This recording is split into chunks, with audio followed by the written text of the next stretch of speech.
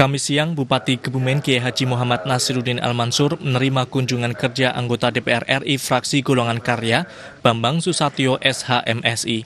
Kunjungan yang dilaksanakan di ruang rapat gedung F ini dalam rangka untuk menyerap aspirasi masyarakat dan pemerintah Kabupaten Kebumen.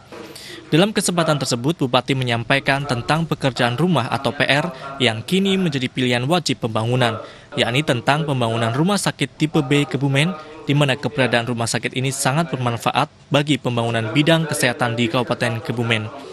Selain itu, Bupati juga menyampaikan tentang pembangunan jalan lintas selatan atau JLS yang kini pembebasan tanah baru berjalan 40 persen atau sekitar 21 km. Selain Bupati, kunjungan kerja DPR ini juga dihadiri para asisten dan